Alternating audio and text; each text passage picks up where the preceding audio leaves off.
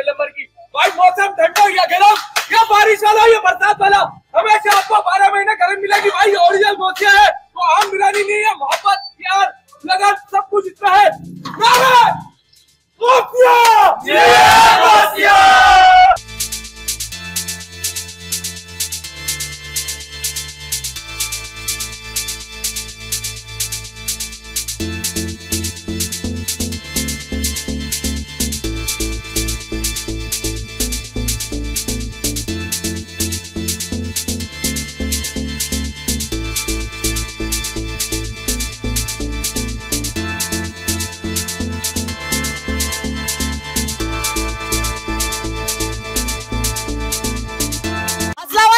नया चैनल के साथ मैं हूँ सोबत छोटी नाजी में मौजूद हूँ शेर कायद के इलाके लियाबाद आज आपको विज़िट कराएँगी नल्ली बिरयानी।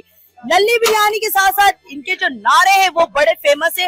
लोग इनकी नारों को फॉलो करते करते इस नल्ली बिरयानी को टेस्ट करने आते हैं। नल्ली बिरयानी का आइडिया कैसे आया? कैसा इसका जायका है।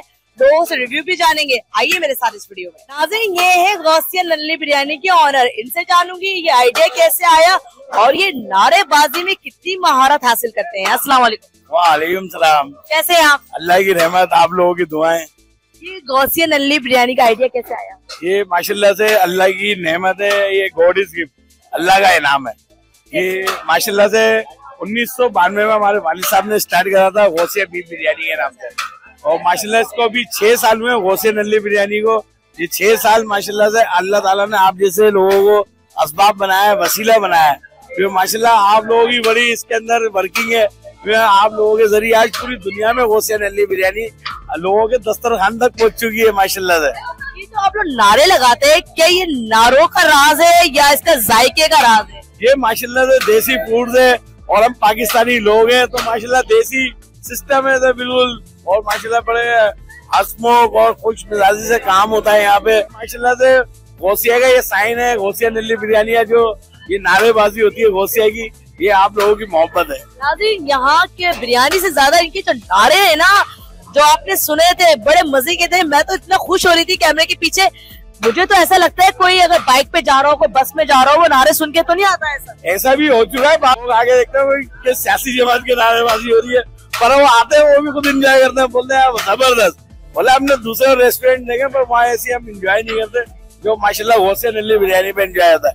बोलते ना खाना वो फ़ूड के लिहाज से हेल्थी भी हो, और बंदा इंजॉय भी करे नल्ली को तो बिल्कुल अवॉइड करते कि मेरे घर में नल्ली आए नहीं। और वो उसको जो निकालना होता है ना अंदर उसका मवाद होता है, वो बड़ा मुश्किल होता है, जब नहीं निकलता, बड़ा गुस्सा भी आता है। तो ये कैसे आइडिया आया नल्ली का? माशाल्लाह से ये नल्ली और गोशी यखनी बनाई जाती है। फिर इसमें कच्चे चावल को डाला जाता है जो माशाल्लाह उसकी यखनी को एब्जॉर्ब करता है और जो बोलते हैं ना उसकी जायकी की दुनिया में बंदा डीप होता चले जाता है। तो ये माशाल्लाह से जो आप घर पे आपको परेशानी हो या गोसिया पे आप सीखेंगे तो आपको बहुत इजीली लगेगा और आप आगे में फिर गोसिया पे जो एंजॉय करेंगे फिर आप घर पे भी इंजॉय करने लगेंगे इंशाल्लाह। ये नल्ली किस ये माशाल्लाह गाय की और बेल की होती है। और ये बड़ी माशाल्लाह नेचुरल फैट है और इसमें घी तेल इस्तेमाल नहीं होता। तो माशाल्लाह कुदरती माशाल्लाह इसके अंदर जो जायका है अल्लाह की रहमत से वो आपको तो घी तेल तो महँगा ही है तो सारा घी तेल ये नल्ली से ही निकलवा लेते हैं और नल्ली को खूब चूस लेते हैं। घी तेल से भी महँगी पड़ती है। अच्छा। ये नेचुरल माशाल्लाह नली होती है। आपको पता है पाया और नली की कीमत मजदूर ज़्यादा है इन चीज़ों से। जो है वो एक आर्टिफिशियल है घी।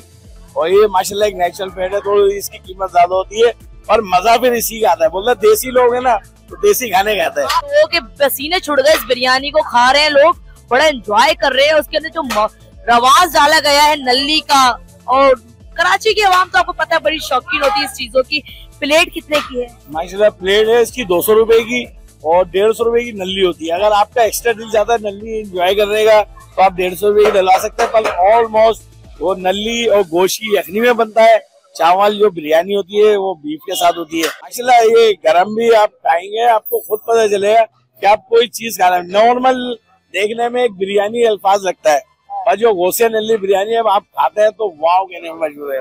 वाह तो मैं भी खाऊँगी और यही कहूँगी वाह उन्होंने बिरयानी ऐसे खाई है कि इन्होंने चश्मा तारना भी भूल गए और लबालब इन्होंने नली बिरयानी बिल्कुल खत्म कर दी थी। ये देखे दो नल्ली इन्होंने खाई है। असला वालेकुम वालेकुम कैसे आप?